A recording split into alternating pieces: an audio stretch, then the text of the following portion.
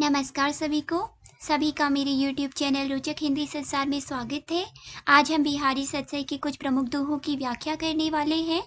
यह B first year के पाठ्यक्रम में शामिल किया गया है और यू जी सी नेट के पाठ्यक्रम में भी इसे रखा गया है। किंतु नेट में इनके दोहों की कुछ संख्या अधिक है। बिहारी सत्सई, रीतिकाल की प्रमुख रीति सिद्ध कवि बिहारी की रचना है। इसमें 713 दोहे संकलित है। यह मुक्तक काव्य है। इसमें नीति, भक्ति और श्रृंगार से संबंधित दोहों का संकलन है। दोस्तों, बिहारी सत्सई रामचरित मानस के उपरांत सर्वाधिक लोकप्रिय रचना रही है। और रामचरित मानस के पश्चात बिहारी सत्सई पर ही सबसे अधिक टीकाएँ लिखी गई हैं। बिहारी सत्सई के संबंध में कहा भी जाता है, सत्सैया की दोहरी ज्यो नावक की तीर, देखन में छोटे लगे घाव करे गंभीर। बिहारी सत्सई काव्य रचना की अपेक्षित समस्त सद्गुणों का भंडार है। उसका भाव पक्ष जितना पुष्ट है, उतना कला पक्ष वैभवपूर्ण है। बिहारी के दोहों में कल्पना शक्ति का अद्भुत चमत्कार है। उसमें व्यंजना का अभूतपूर्व कौशल विद्यमान है। इनकी उक्तियों में गागर में सागर भरने की कहावत चरितार्थ होती है। आइए दोस्तों, हम भी इनकी कुछ प्रमुख दोहों की व्याख्या करते हैं और इसे समझने का प्रयास करते हैं। मेरी भव बाधा हरु राधा नागरी सोय जातन की झाई परे, श्यामु हरि दुति होई भाव बाधा अर्थात संसार के विघ्न। यहाँ पे झाई श्यामु और हरिद्युति के तीन तीन अर्थ हैं। झाई का अर्थ है परछाई और आभा, झांकी और झलक और ध्यान। इसके अतिरिक्त श्यामु के तीन अर्थ हैं। श्री कृष्ण श्याम वर्ण वाली श्री कृष्ण और काले रंग का पदार्थ अर्थात कलमस दुख दरिद्रादि और हरिद्युति के भी तीन अर्थ हैं, हरे रंग वाला, हरा भरा और प्रसन्न वदन। इसीलिए यहाँ पे श्लेष अलंकार का प्रयोग हुआ है। इस दोहे में महाकवि बिहारी दास जी ने मंगलाचरण करते हुए राधा और कृष्ण का स्मरण किया है और साथ ही अपने काव्य के नायक और नायिका की झलक भी देती है। वे राधिका जी से सांसारिक बाधाओं को दूर करने की प्रार्थना करते हैं। इस दोहे के बिहारी जी ने तीन अर्थ किए हैं। यहाँ पे इनके हम तीन अर्थ जान लेते हैं। पहला अर्थ इस प्रकार है, वही चतुर सुसंस्कृत राधा मेरे सांसारिक कष्टों को दूर करे, जातन की झाई परे, अर्थात जिनके शरीर की आभा पड़ने से श्याम वर्ण वाले श्री कृष्ण हरी तुति हुई। हरे रंग की आभाया कांति वाले हो जाते हैं। अर्थात राधा जी का रंग सुनहरा पीला है, श्री कृष्ण श्याम है, उनका वर्ण काला अर्थात नीला है। साहित्य में काला और नीला एक ही माने जाते हैं। नीले और पीले रंग के मेल से हरा बनना लोक प्रसिद्ध है। दूसरा अर्थ इस प्रकार है, वही नागरी राधा मेरी सांसारिक कष्टों का निवारण करे, जिनके तन की परछाइयाँ झलक आँखों में पड़ते ही श्री कृष्ण हरि भरे अर्थात प्रसन्न वदन हो जाते हैं। तीसरा अर्थ इस प्रकार है, वही नागरी का तात्पर्य है चतुर, सुसंस्कृत, नगर निवासिनी राधा। मेरी सांसारिक कष्टों एवं दुखों को दूर करे, जिसके तन अर्थात रूप का ध्यान पड़ने से भक्त के हृदय की समस्त कालीमा, कलमस अर्थात जो दुख दरिद्रादि है, इत्यादि तेजहीन एवं भयंकरता से रहित हो जाए, अर्थात वे नष्ट हो जाए। इस दोहे में कवि ने राधा वल्लभ संप्रदाय का जो प्रभाव है वह स्पष्ट दिखलाई पड़ता है। झाई श्यामू और हरिद्वती के तीन तीन अर्थ है, इसलिए यहाँ पे श्लेष अलंकार का प्रयोग हुआ है। श्यामू में रूपकाति से अलंकार का प्रयोग हुआ है। और जितने भी दोहे आज हम पढ़ने वाले हैं, इनमें ब्रजभाषा का प्रयोग किया है और दोहा छंद का प्रयोग हुआ है। अगला दोहा है, सनी कच्चल चक छक लगन उपज्यो सुदिन सनेहु क्यों न नरपति भय भय भोगवे लही सुदेशी सबु देह। शनि अर्थात शनिश्चर जो ग्रह है, कज्जल यानी की काजल चक अर्थात नेत्र आँख झक यानी मछली। लगन यानी कि जो राशि जितने काल तक पूर्व क्षति से सम्मिलित रहती है, उतने काल तक उस राशि की लग्न मानी जाती है, सुदिन यानी कि अच्छा दिन। भोग भोगवे यानी कि भोग करना। किसी सुअवसर पर नायिका के कज्जल कलित नेत्रों को देखने से नायक के हृदय में स्नेह उत्पन्न हुआ, जिसने उसके सर्वांग पर अधिकार कर लिया। उसकी इसी दशा का वर्णन सखी बड़ी चातुरी से नायक के प्रति करके उसको नायिका से मिलाना चाहती है। सखी कहती है कि उस नायिका के नेत्रों में लगा कज्जल अर्थात काजल। मानो शनि ग्रह है, नायिका के मीन आकृति वाले नेत्र मानो मीन राशि है। इस शुभ मुहूर्त में इस सौंदर्य को देख उत्पन्न हुआ स्नेह राजा बनकर सारी देह रूपी सुंदर देश पर राज्य क्यों न करे? कहने का भाव है कि नायिका की आँखों में काजल है। मानो शनि मीन राशि में आ गया है। ज्योतिष के अनुसार मीन राशि में शनि होने पर जन्म लेने वाला बालक राजा बनता है। इस दशा में उत्पन्न हुए स्नेह का राज्य सारी देह रूपी देश पर ही होना चाहिए। इस दोहे में रूपक अलंकार की अभिव्यंजना की गई है। सुदिन सनी हुआ सुदिन सबू में सौवर्ण की आवृत्ति से छह का अनुप्रास अलंकार है और सांग रूपक अलंकार का प्रयोग भी किया गया है। नीकी दई, अनाकनी, फीकी, परी गुहारी, तजियो मनु, तारन, बिरदु, बारक, बारनु, तारी। अनाकनी यानी कि अनसुनी, फीकी पड़ी गुहारी अर्थात पुकार। यहाँ पे बिरदु का अर्थ है प्रशंसा या प्रशस्ति से। बारक यानी कि एक बार या सर्वथा जिसे कह सकते हैं, बारनु यानी कि हाथी। कहने का तात्पर्य है कि हे प्रभु, आपने तो मेरी प्रार्थना, मेरी विनती पर ध्यान ही नहीं दिया। आना कानी कर दी। मेरी पुकार, मेरा अंतरनाथ फीका पड़ गया है।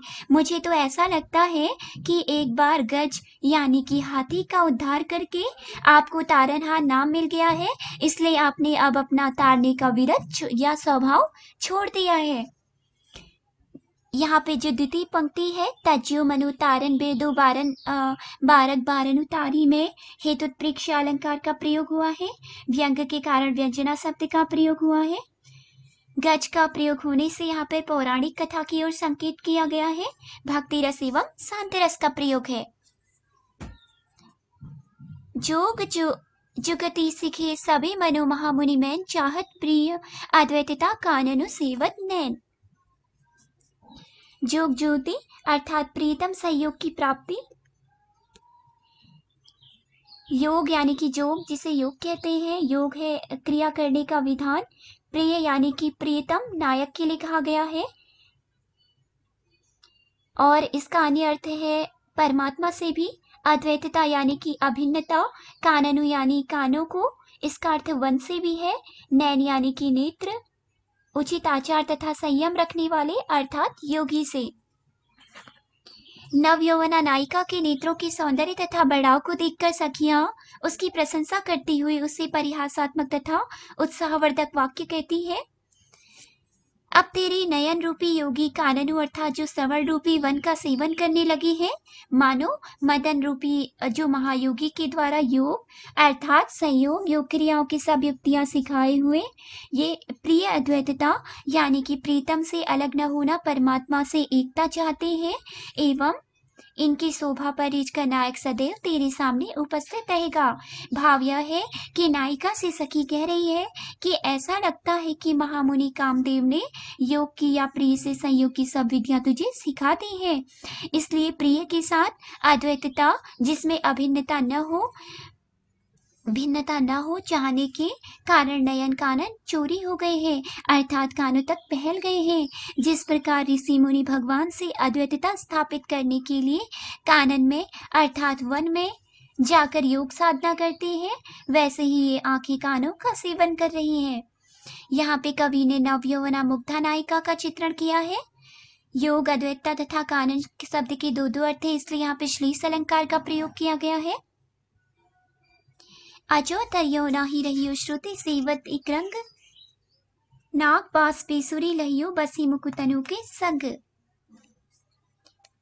अजो यानी कि आज तक भी तरियोना यानी कि अधोवर्ती कर्णभूषण जिसे कहते हैं। श्रुति यानी कि वेद की श्रुति कान भी इसका अर्थ है। एक रंग यानी कि एक कृति पर अविच्छिन्न रूप से नागपास यानी कि स्वर्ग में निवास। नासिका का निवास भी इसे कह सकते हैं। बेसरी यानी कि नासिका में पहना जाने वाला भूषण विशेष। मुकुतनु यानी कि मुक्त सज्जन। इस दोहे में सत्संग की प्रशंसा करते हुए कवि बिहारी ने इसका अर्थ दो भागों में स्पष्ट किया है, एक आभूषण के पक्ष में, एक धार्मिक पक्ष में। सर्वप्रथम आभूषण के पक्ष में हम इसका अर्थ देख लेते हैं।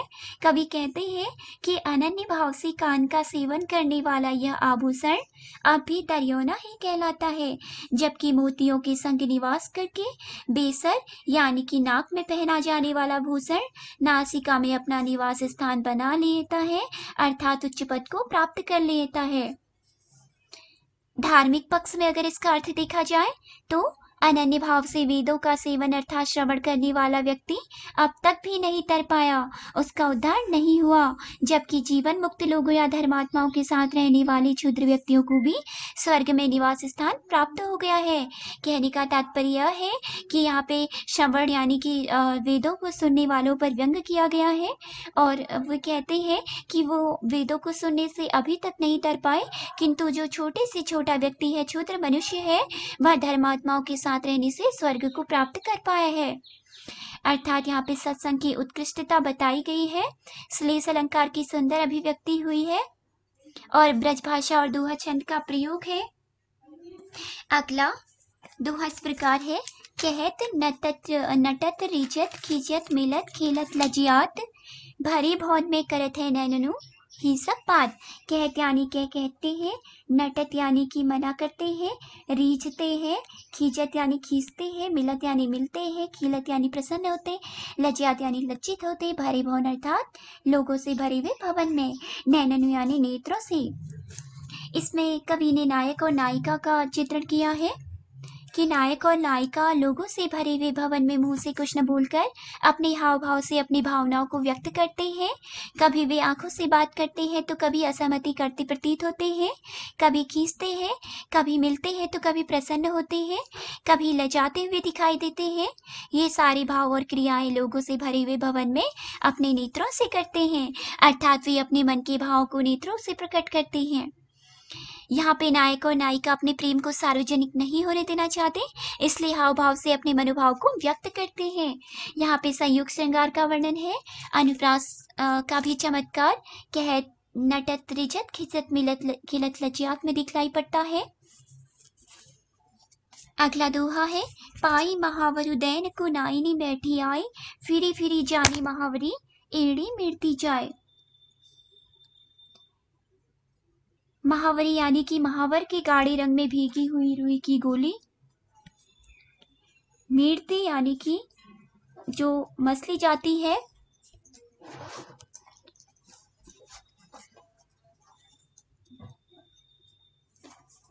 नायिका की सखिया नाइन का परिहास करती हुई, नायिका की एड़ी की लाल रंग की प्रशंसा करते हुए कहती है कि नायक यानी नायिका के पैरों में महावर लगाने के लिए पास आकर बैठी जो नाइन है, वह नायिका की एड़ी को महावर की गोली समझकर उसे मेड़ मेड़ कर रंग निकालने की कोशिश करने लगी। भाव यह है कि नाली जो नायिका है, उसकी एड़ी का रंग ऐसा लाल है कि उसमें उसमें तथा महावर की गोली में कुछ भेद प्रतीत नहीं होता। अर्थात वहाँ पे भ्रम होता है कि यह एड़ी है या महावरी। इसलिए यहाँ पे भ्रांतिमान अलंकार का प्रयोग किया गया है। अतः वह एड़ी को महावर की गोली समझकर मिटती जाती है। एक बार इसका अर्थ और जान लेते हैं।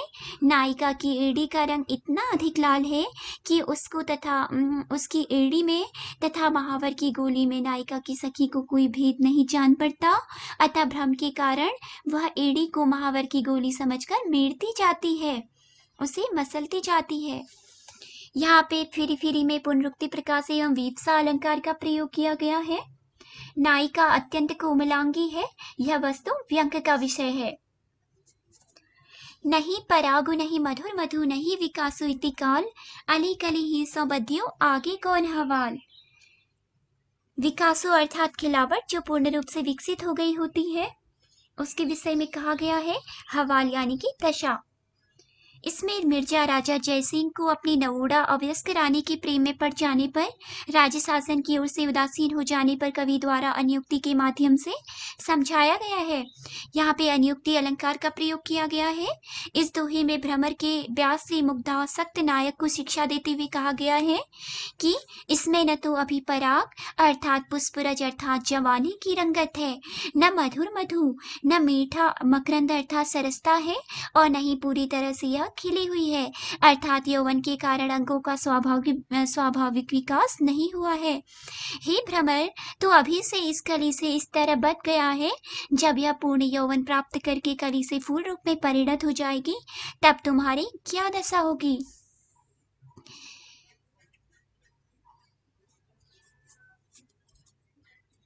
उम्मीद करती हूँ सभी को इनकी व्याख्या समझ आ रही होगी। अगला दोहा देखते हैं। मंगल बिंदु सुरंगो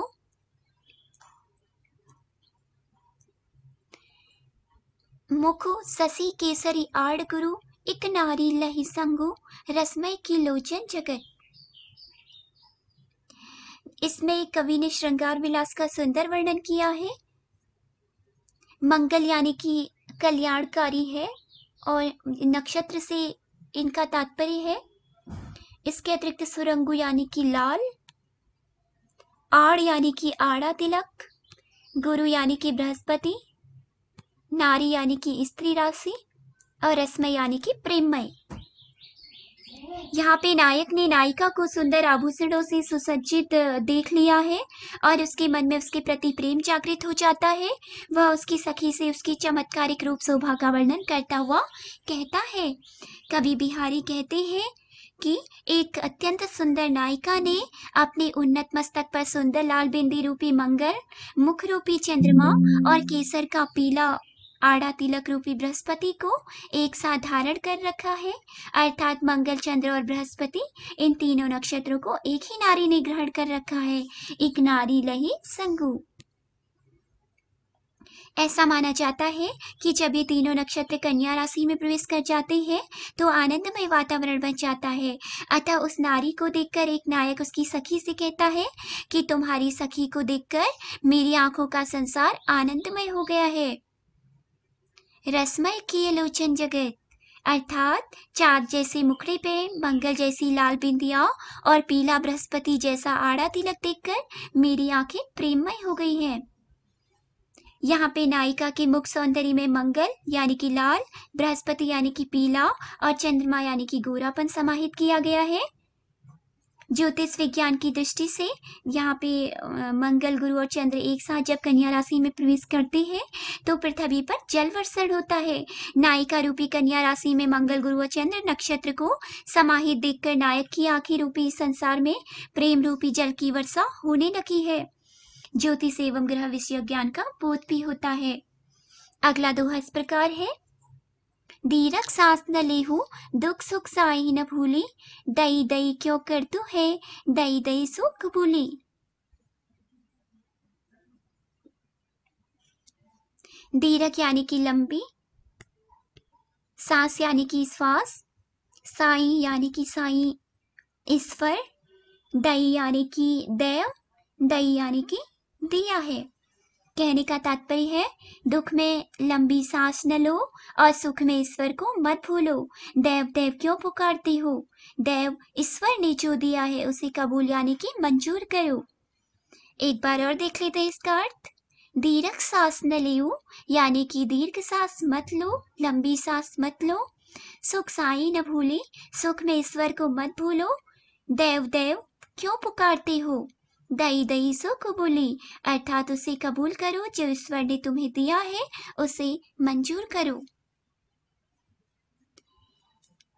आज की हमारी प्रमुख दोहों की व्याख्या यहीं पे समाप्त होती है। कुछ प्रमुख दोहों की व्याख्या हम अगले वीडियो में करेंगे।